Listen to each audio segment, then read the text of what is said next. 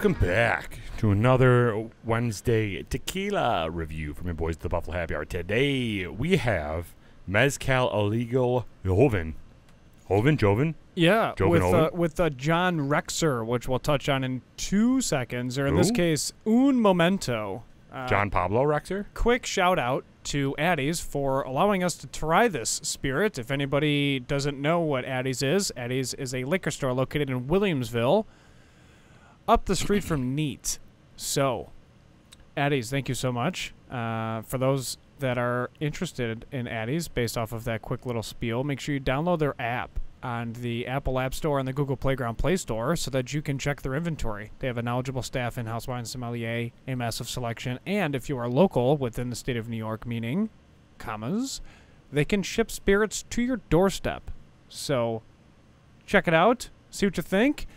And Derek, let's try some interesting tequila with a dark, uh, profound history. Mezcal Ilegal Joven. John Rexer. He was living in New York during the terrorist attacks of 9 11.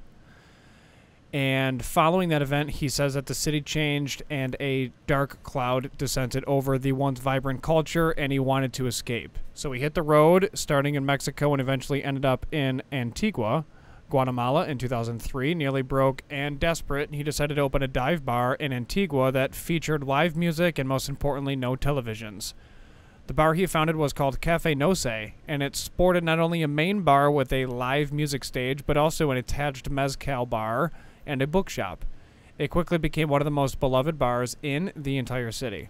So while business was booming, he needed to supply his bar with spirits, in which case he had been bringing in unbranded mezcal from other regions, but in 2006 he decided to start his own brand specifically to stock his own bar and focusing on using sustainable production methods. Smart business idea. Yep. So that brand uh, became known as illegal, which Illegal.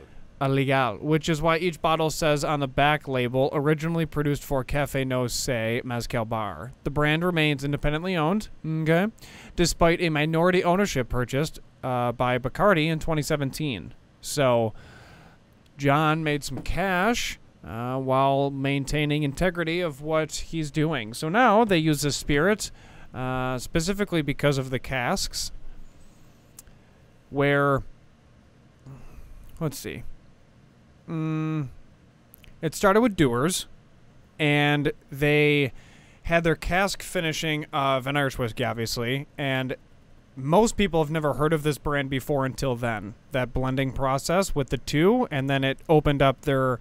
Uh, the word I'm trying to say? Opened up their curiosity to try it. So we'll see what this tastes like. So what is this? Isn't a Blanco. This is what is this? Should be on there. The nom's on the back too, except the nom didn't pull up on the app. So it's I'm just a still, mezcal. I'm still working on that. It's just called Mezcal. Let's perfect. pop it. All right. Well, let's see if we can get through this friggin'. So we need a wine cork to open this up. No, use one of these. Oh, I broke it. Okay, we got it. We got it. Oh, oh yeah. Noise. I mean, uh, opening process would, was relatively fun. I don't know if I like the uh, the wax all on the corks. I felt like when I was breaking it off, I almost broke the cork in half. But I guess that's uh, neither here nor there. Anyway, what do you what do you think of the label?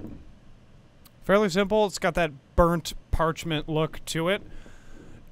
Makes me thirsty, to be honest with you. There's Uh, nothing like crazy from a graphic standpoint on it though. No, And this is one of the bottles that isn't like really cool. We were talking about how they kind of lack a little bit of a label design and more intricate bottle design. Mhm. This doesn't do anything for me. C plus. C plus. I agree. I agree. I agree. I agree. All right, let's get into the nose. The long neck on her, huh? Like the giraffe of tequila bottles, huh? Oh yeah. Let's see. Chill. All right. Nose. Ooh. Woo. There's some wood sugars in there, dude. This is 80 proof. Is it really? Yeah. Okay. Okay. Okay. Okay. This isn't a product that was aged with. Uh. uh Yeah, this is just a regular. It looks like a blanco. I mean, it's white. It looks like it just came out the still. Looks like a blanco, bro. can get a lot of that molasses, a little bit of like a sharp um, pepper. I'm going B plus on the nose though. Tell people what you're smelling.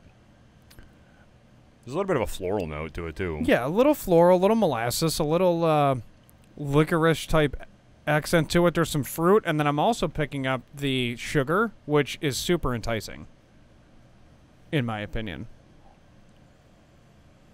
You get a little bit of that like anise, that candied anise or candied, It's a nice nose. kind of like a ginger too, a little bit. yeah, I'm gonna it. compliment it. It's a nice nose. Yeah, this is pretty good.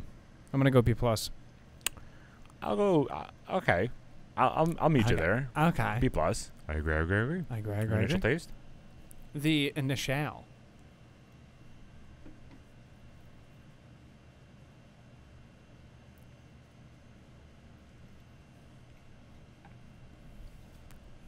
Yo, there's smoke to it, bro.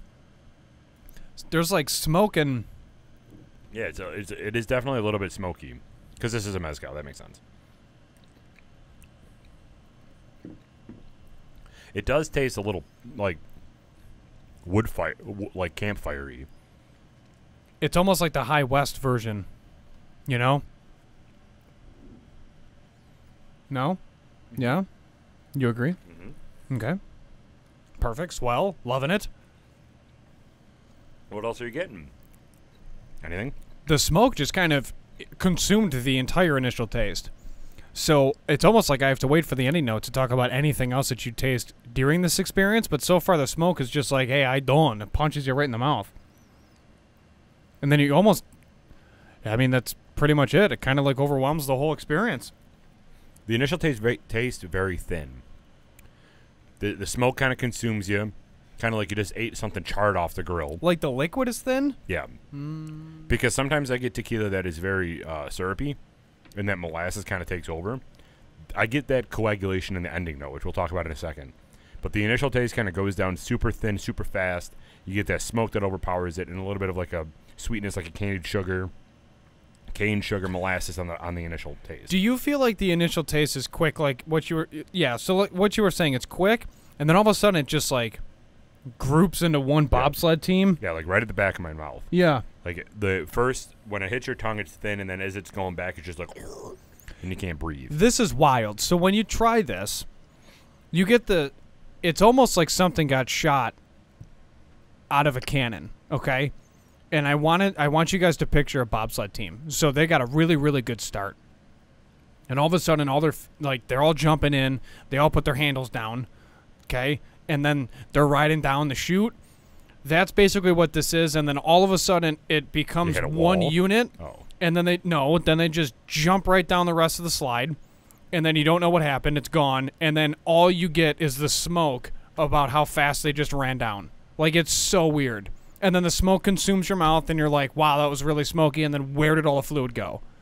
Like it was just one cohesive team that bonded together and then slid right down your gullet, and you have no clue what's happening.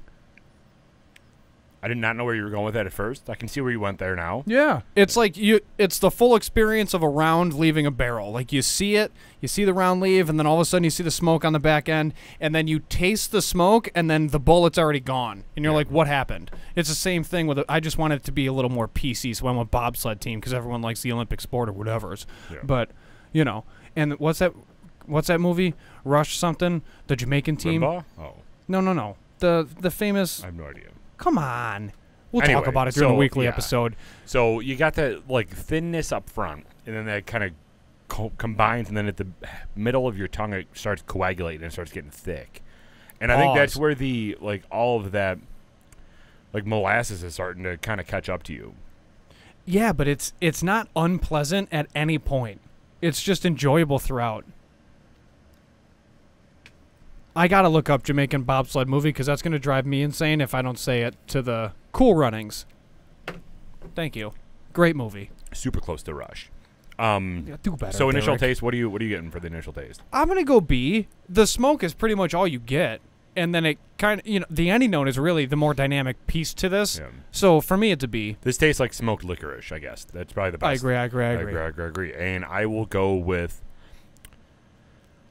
I'll go B two. I'm not. Alrighty then. Yeah, ending note. That's where we'll get to the real stuff, aka not much. the real meat and potatoes. All right, so now you got this now you- tater. So now you got this coagulated unit that's starting to slide down your gullet. Pause. And you're picking up more of the not as much as the smoke, but you get more of the sugars, you get more of the the licorice, and then you get this pleasant experience of ah, it's still a tequila. And I think that distinction is what makes this worth trying and enjoying. Would make a mean cocktail. Mean cocktail. So, you know, I'm not I'm not a big fan of this ending note because I'm getting some of that like What's wrong? ending burnt wood on the back.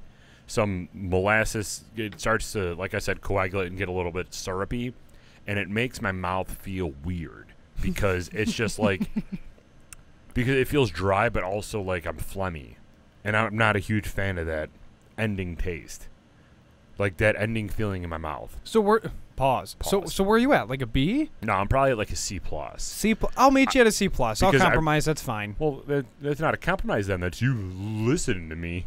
Welcome to marriage. Are we married? it's gonna be okay. Yeah, I, I really, I really like that initial taste, that smokiness. Obviously, huge Scotch fan. I love the smokiness of this. To me, the ending note is just like, all right, back to reality. You're drinking something tequila. Let's bring back hard that sugar, that coagulation, that molasses, that thickness. And I'm just not. Those two together didn't do anything for me. So I'm gonna go C plus at the end. I'm excited for this final rating then. So give me that countdown, Derek. Three, two, one. 85.